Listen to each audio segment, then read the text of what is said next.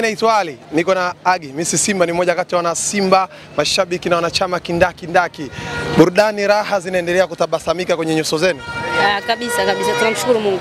Simba Queen wamewatoa kimasomaso leo, wameendeleza ubabe mbele ya Yanga Princess. Unahisi ubora wa Simba ni nini? Ah, kwanza ni kawaida yetu kwa Simba Queens kuwafunga Yanga, hawajawahi kutufunga hata mechi moja. Kwa hiyo ni kawaida yetu sisi kuwafunga wao, yaani hii ni hulka yetu na ni, ni hivyo tukikutana nao. Ah, tunaiona Sim- Simba Queens sasa hivi ina, inazidi ku- kuimarika, inazidi kuwa timu nzuri, ni tofauti na timu ambayo tumetoka kwenye mashindano yale ya kimataifa. Lakini sasa hivi unaona timu inakuja inacheza vizuri, wachezaji wanapambana, wanatafuta ushindi. Uh, ni timu ambayo kwa msimu huu tangu uanze ni timu ambayo ina magoli mengi sana na inafanya vizuri karibia kila mechi. Kwa hiyo mimi nawapongeza na nafikiri uh, uwekezaji na usajili mzuri unaofanyika ndani ya Simba Queens, uh, makocha wazuri, tunaona benchi la, la, la ufundi limeimarishwa, limekuwa bora zaidi, na ndio maana tunaona timu inakuwa na ubora mkubwa. Uh, Opa anarudi mara mbili na kufikisha idadi ya mabao tisa katika ligi kuu. Uh, unamuona una, una, una Opa kuwa, ku, ku, mfungaji bora wa ligi kuu?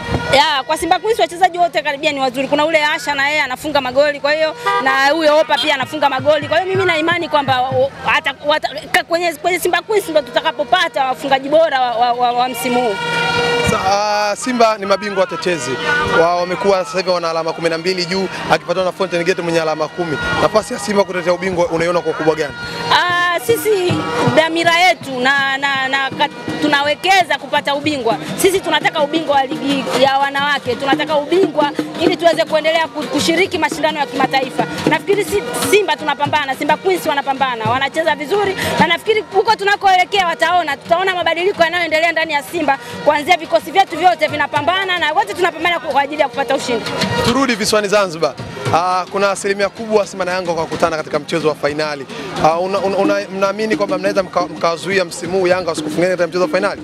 Ah, ni mapema sana kusema hivyo kwa sababu kwenye nusu fainali hatukutani. Kuna nusu fainali hatuwezi kujua kama mwenzetu atavuka, ila sisi tuna imani kwamba tutavuka. Kama tutakutana naye uh, fainali itakuwa vizuri sana, kwa sababu tunataka kwenda kulipiza kile walichotufanya uh, mapinduzi yaliyopita. ya- ya Pia tuna game ambayo tumecheza iliyopita, uh, of course hatukufanya vizuri. Kwa hiyo tuna imani kwamba safari hii tukikutana nao tutaenda kucheza vizuri na tutachukua kombe la mapinduzi aa, na tutaenda kulipiza yale ambayo wametufanyia msimu uliopita.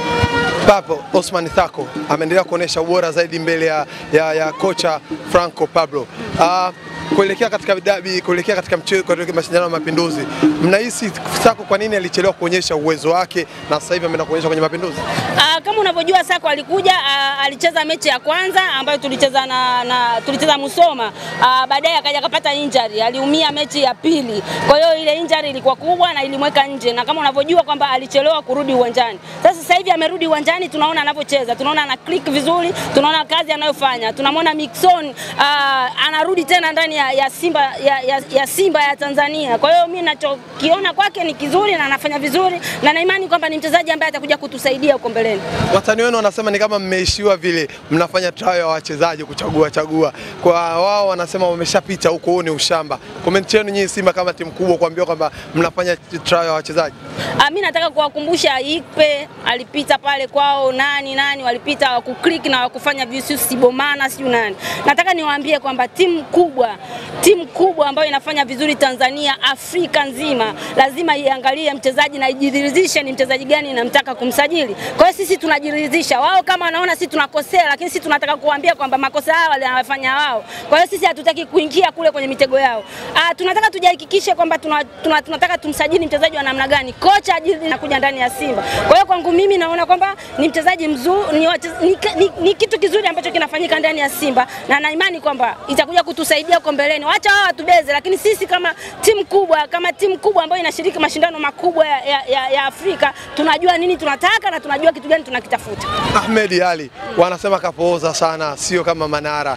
Agi, una komenti gani juu yake? Ah, Kwanza nakumbuka wakati Manara anaondoka Simba tulisema kwamba safari hii tunataka msemaji ambaye atakuwa na weledi, msemaji mwenye heshima, msemaji ambaye anajua namna gani ya kuishi na watu, msemaji ambaye atapendwa na watu wengi. Nafikiri hicho ndo ambacho viongozi wa Simba wamekifanya. Sisi tunasema akwepo Ahmed Ally, lakini Simba ilikuwa inaendelea na mambo mengi ya Simba yalikuwa yanaenda vizuri.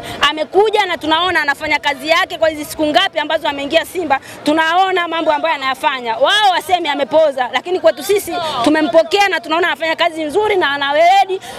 Na kikubwa anachotaka kusema yule pale, jamani, yuko vizuri kwa kweli, tuendelee kumpa support na naamini kwamba atakuja kutusaidia. Nasema asante kwa timu yako. Asante sana.